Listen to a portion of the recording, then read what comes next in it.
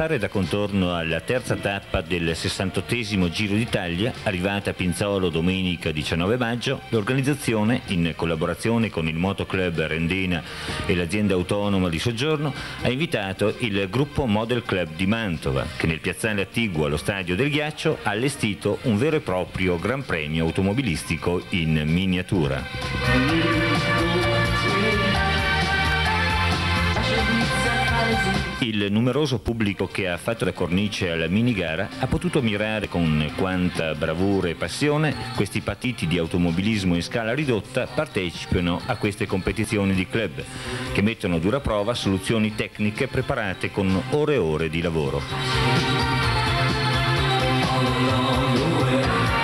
Una vera e propria gara in miniatura con un circuito non meno impegnativo dei gran premi disputati da marche famose come Ferrari, Lotus, Renault, di cui queste piccole imitazioni realizzate in scala 1 a 8 ne imitano i minimi particolari.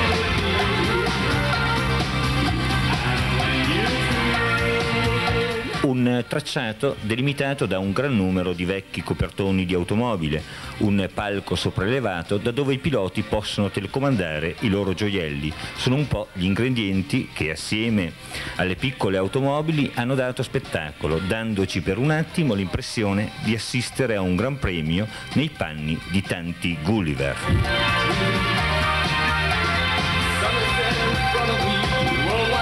Ma assistiamo più di vicino alla gara. I nomi dei piloti sono forse meno famosi dei vari Alboreto, Prost e Senna. Si chiamano più semplicemente Gianni, Andrea e Giovanni, ma ed altri. Ma non per questo il loro impegno è da meno. Ultimi ritocchi ai box.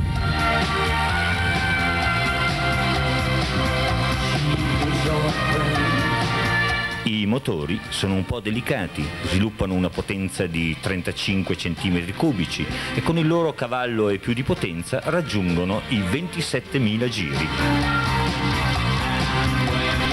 È quindi necessaria una messa a punto molto precisa.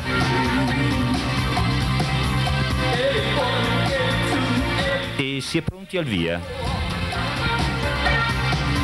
Dopo i primi muggiti iniziali, i piccoli mostri scaricano sull'asfalto tutta la loro potenza, raggiungendo velocità superiori ai 120 km all'ora.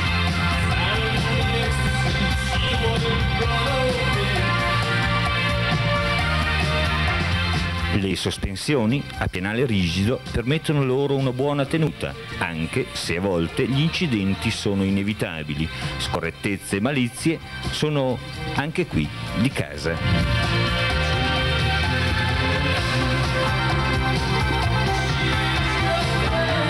A spingerle nella loro folle corsa è un'esplosiva miscela a base di idrometano, alcol etilico e perché no, anche di qualche goccia di olio di ricino, forse per andare più in scioltezza.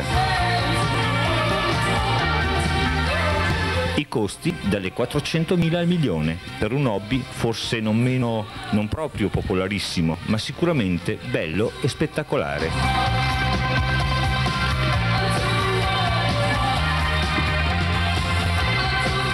Al termine premi per tutti, anche se, visti i costi, con il primo premio si potrà a malapena sostituire la ruota anteriore.